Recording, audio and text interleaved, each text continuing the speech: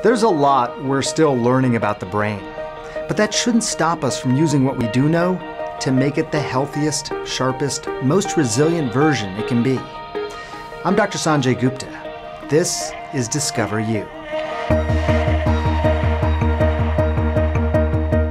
I wasn't the type of kid who always dreamed of being a doctor. Far from it. But when my grandfather suffered a stroke, I found myself surrounded by doctors explaining to me what exactly had happened in his brain. Thankfully, my grandfather made a full recovery, but I was hooked.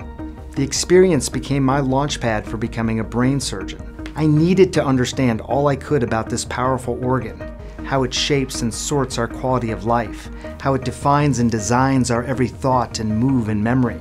First, it should be no surprise given how complex the brain is that the recommendations for any given individual's brain health will be equally diverse. But I do know this, there is a best way to care for your brain. There is a best way to live, to move, to eat, to sleep, to think, to engage with the world that is best for your brain. Exercise and movement are not just good for the heart, they're great for the brain.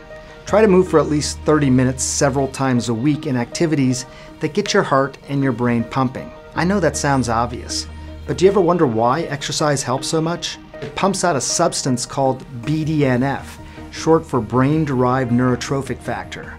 When you understand this, it's no wonder that exercise makes you feel different, feel better, calmer, more present, less stressed, and sharper almost right away. Best of all, the exercise doesn't need to be nearly as strenuous as you probably imagine.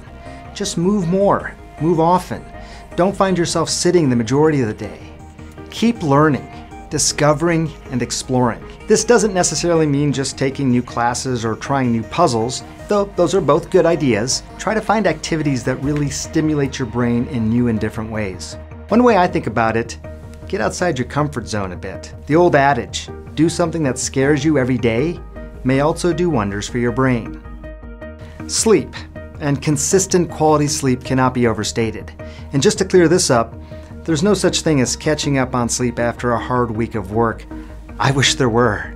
Your brain needs rest to rinse and reset, and limiting that rest can have long term negative impacts. What you eat matters. Several doctors and researchers, including myself, have a new mantra if it's good for the heart, it's good for the brain. Be mindful of what you put into your body and how it makes you feel. I kept a food journal to see what really worked for me as my own personal brain food. Turns out, fermented foods are my secret weapon. Pickles. Figure out yours. Socialize safely, when and where you can, even if that's not in person as often. It's not just a romantic thought. Human connection is essential for the brain. We are social creatures. We owe our brain's powers to human connection.